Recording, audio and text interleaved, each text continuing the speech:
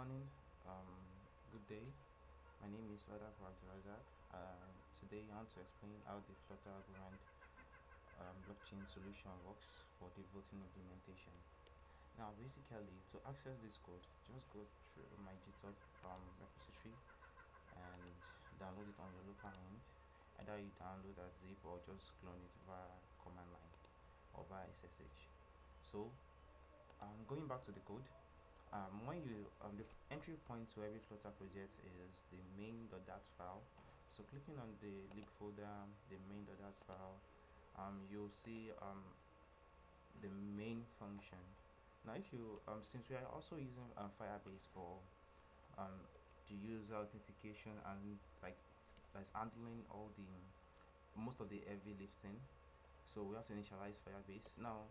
So um, the file handling the initialization of Firebase based on the latest um, policy of Firebase is constant. Um, constant firebase.dart file contains the initialization variables for um, the Firebase app, the Firestore, and the authentication class. So going back to the main.dart file, um, we are initializing some um, controllers that is handling various functionalities within the app. The first one is the user controller which handles the, uh, the user state, the vote which handles the vote state, the app which handles the app state, and the Algorand controller which handles the Algorand functionalities. Now, I'm taking a quick look at the Algorand controller. Now, um, you'll see um, the various instances I've made um, for Algorand functionalities the first one apart from the variables here are the um um is the Algorand create Algorand wallet.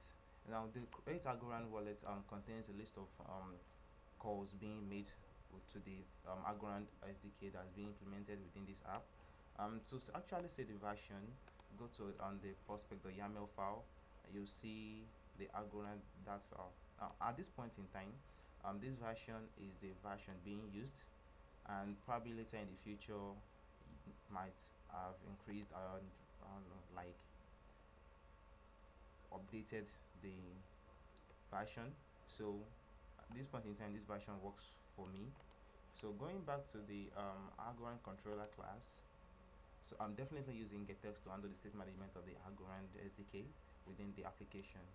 Now after um, calling this function um, create the Algorand account, get the public address, get the private keys, and also the seed phrase for which contains a list of strings. Now, basically, the seed phrase, um, like to get the seed phrase, this like the private 32 byte key into like um 25 word mnemonics. The generated mnemonics include a checksum. Each word in checksum represents 11 bits of data, and the last 11 bits are reversed for the checksum now after getting the seed phrase and all the data it is being stored in a local database for easy retrieval. So um, now going back to the app controller to manage the state of the app during login logout event issues then the user the state of the user loading user data to database and sorts. And the vote functionality um, go, um is being implemented in the uh, um the vote controller now taking a look at the application uh, when you open it at first you see the introduction screen. Swiping from left to right um, moves it out like inward the app. So clicking on get started you see the welcome screen. Allow vote. So I um, kind of don't remember my credentials so I basically just sign up again. So signing up let me just type in random names. Um,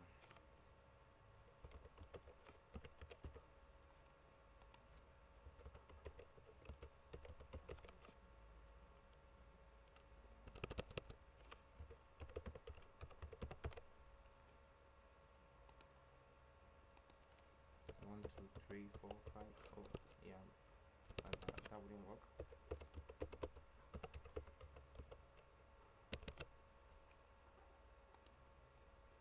So now after inputting all this we'll click on sign up.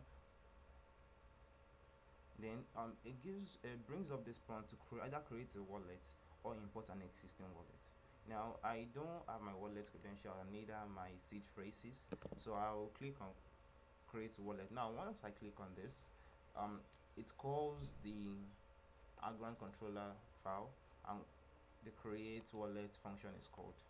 So after the create wallet function is called um, all the functionality the, the parameterized sequence of statements are being called into then into creating an account which returns the account of the user. So now on clicking this um, wallet yeah.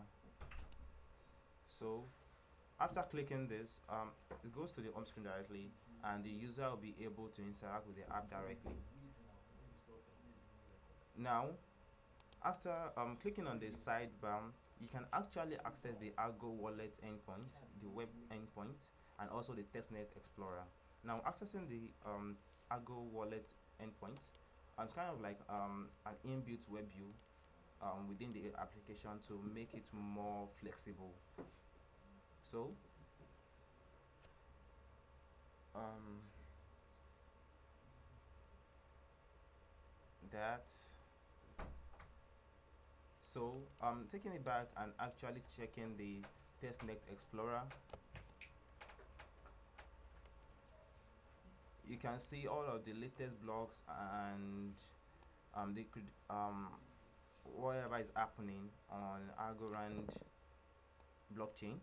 So it, which gives the user more flexibility within the app. So going um to actually walk through um the screens and that. Um this intro and intro handles the onboarding then actually the services. Now for Algorand to work we need to use PureStake after using PureStake we need to initialize the um, voting system. So if you were to look at services.dart into in the service folder you'll see the way um, so the voting is implemented with Firestore and Firebase server mean so um that so thank you for watching the video and so actually and once again to actually access the code and that you can upload go to my repository and download. And all after doing that all you have to do is just open your terminal and enter flutter run. There's no need to do any kind of setup, nothing. Just download the code and enter flutter run. I already have it running on my local hand here, so that's why I'm able to access it directly. So, um, thank you.